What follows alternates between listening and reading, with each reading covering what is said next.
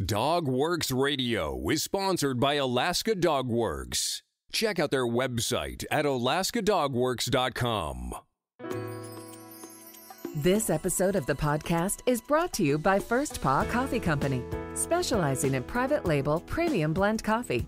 If you're serious about coffee, you should check it out. First Paw Coffee's passion is high quality small batch roasted coffee. They take the extra time to taste and get everything perfect before they release new blends. They aim to bring you a cup of happiness each time you pour yourself some coffee. Find out more at ak.dog slash free and enter for a chance to win some First Paw Coffee prizes, a book from our collection, and tote bag. One winner will be selected at random each month. That's ak.dog slash free. Hello and welcome to Dogworks Radio. This is Michele Forto, and I am the lead trainer of Alaska Dogworks. On today's show, we are going to talk about holiday safety tips for your dog. But first, a word about Christmas puppies. Did you know that we do not recommend buying a puppy for Christmas? Buying a puppy is a lifelong commitment and should not be an impulse buy. If you know that your family member wants a puppy, why not buy a book on puppy raising, some treats, and a leash, and put that under the tree? Then, after the busy holiday season, you can go pick out a puppy together after talking it over and seeing if now is the right time. Now, Christmas tree safety and other holiday tips for your dog. Keeping your furry family members safe during the holidays can be a difficult task. There are the breakable ornaments, potentially dangerous plants, presents with bows and ribbons, lights that can be chewed, and who could forget the Christmas tree? Let's take a look at some simple pet safety steps that will allow your furry family members to join in the holiday fun this year while avoiding any trips to the animal emergency room. From First Paw Media, sponsored by Alaska Dog Works Professional Canine Training Center in Anchorage, Alaska. This is Dog Works Radio, committed to families and their dogs to build lifelong and fulfilling relationships. Visit our website at dogworksradio.com. Now, here are your hosts, Robert and Michele Forto. All right, here we go. Place your Christmas tree in a corner. A quick story first. Robert came home the other day and found that the tree was knocked over. And he called me and said, Did we have an earthquake? After a little searching, he found out that one of our campers had escaped her crate. When we finally got the tree upright, we found her ball.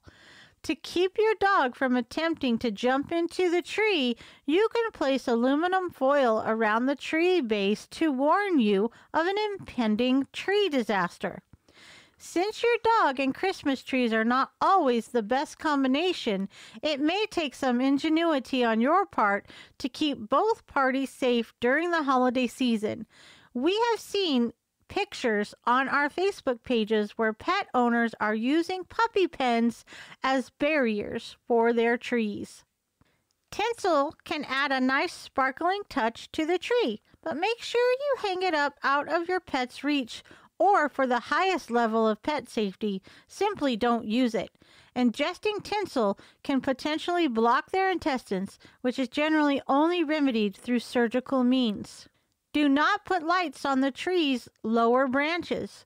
Not only can your pet get tangled up in the lights, but they can also cause burns on your dog if they become entangled. Additionally, your dog may inadvertently get shocked by biting through the wire. Ornaments need to be kept out of reach too. In addition to being a choking and intestinal blockage hazard, shards from broken ornaments may injure paws, mouths, or other parts of your pet's body. The hangers will also cause problems for your dog as well. For those buying live Christmas trees this year, keep the area around the tree free and clear of pine needles. While they may not seem dangerous, the needles cause stomach upset and can irritate or puncture your pet's intestines if ingested. Now, a word from our sponsor. So, earlier you learned about First Paw Coffee Company, and now I'm going to tell you about its Tail Wagger Blend. First Paw Coffee Company's Tail Wagger Blend is their first offering, and its name and label were crowdsourced from their Facebook fans. How cool is that? The Tail Wagger Blend is a private label premium blend that was developed just for them. It is a medium roast from Colombian beans with tastes of Brazil nuts, grapefruit, and oak. Be sure to go to ak.dog slash free and enter to win a bunch of cool prizes. That's ak.dog slash free. All right, we are back and on with our holiday safety tips for dogs. Did you know that holly and mistletoe are poisonous to dogs?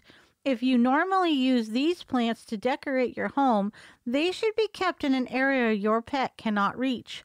Poinsettias are also not a great idea as they can cause nausea and vomiting if ingested.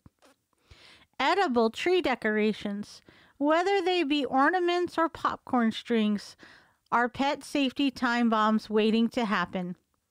These goodies are just too enticing, and your pet will surely tug at them, knocking down your wonderfully decorated spruce. Not to mention that they are also choking hazards. This goes for putting chocolates under there too.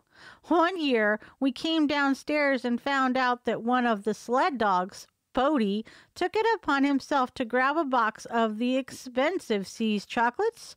He ripped the wrapping paper off, and you could tell he went in for a sample, or five, or seven. Some of them that he did not like had little bites on them, others were completely gone. He truly sampled the See's. We found him on the couch with a sheepish look on his face. Burning candles should be placed on high shelves or mantels out of your pet's way. There's no telling where a wagging tail or curious cat may end up. Never leave candles unsupervised and keep your dog away from any areas with open flames or wax. Homes with fireplaces should use screens to avoid accidental burns. To prevent any accidental electrocutions, exposed indoor or outdoor wires should be taped to the wall or the sides of the house. Any wires extending away from the wall should be wrapped in hard protective plastic to make them less interesting to your dog. When gift wrapping, be sure to keep your pet away. Wrapping paper, scotch tape, string, ribbon, plastic pieces, or cloth could all cause intestinal blockages. Scissors are another pet safety hazard, and they should be kept off floors or low tables. Be cautious about leaving wrapped gifts with ribbons and bows under the tree where your pets can get to them. The holidays are always busy, and it is important that you make sure that your home is safe for your furry friends and to make sure they don't get lost in the hustle and bustle. What holiday safety tips do you have? Let us know on our social channels by searching Dogworks Radio, and as always, check us out at alaskadogworks.com. Happy holidays! This episode of the podcast is sponsored by First Paw Coffee Company. Learn more at firstpaw.coffee. From First Paw Media, this is Dog Works Radio. We hope you enjoyed this podcast, and we invite you to subscribe in Apple Podcasts, Spotify, Stitcher, or wherever you get your podcasts. You'll find a link on the episode notes. You can tap or swipe on the episode cover art, and you'll see some offers from our sponsors. You can support our show by supporting them. If you like what you have heard, we would love it if you could give us a five star rating and tell your friends how to subscribe too. Your hosts are Robert and Michele Forto. Our producer is Robert Forto and created for First Paw Media.